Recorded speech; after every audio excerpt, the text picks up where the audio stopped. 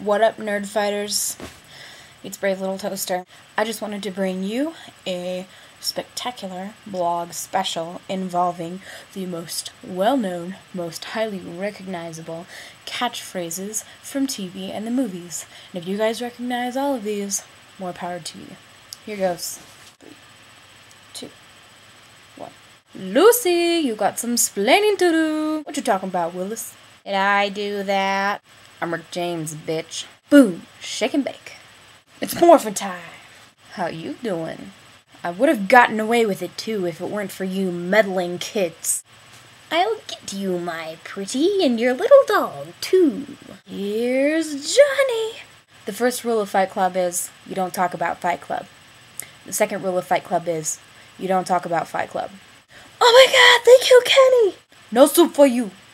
Live long and prosper. A long time ago, in a galaxy far, far away, you're fired. Good morning, Vietnam! Run, Forrest, run! It's only a flesh wound. Do you understand the words that are coming out of my mouth? I'll never let go, Jack. I could have been a contender. Feeling lucky, punk? Well, do you? May the force be with you. I ate his liver with fava beans and a nice Chianti. Show me the money. Show me the money! Show me the money! You can't handle the truth. I'll have what she's having. If you build it, he will come. I see dead people. Houston, we have a problem. There's no crying in baseball! Carpe diem. Seize the day, boys.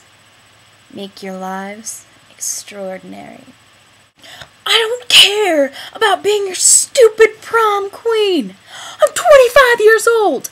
I'm an undercover reporter for the Chicago Sun-Times, and I have been beating my brains out trying to impress you people. See, now that pisses me off. First of all, since the demurrer, we have had more than 400 plaintiffs. And let's face it, we all know there are more out there. They may not be the most sophisticated people, but they do know how to divide, and $20 million isn't shit when you split it between them. Second of all, these people don't dream about being rich.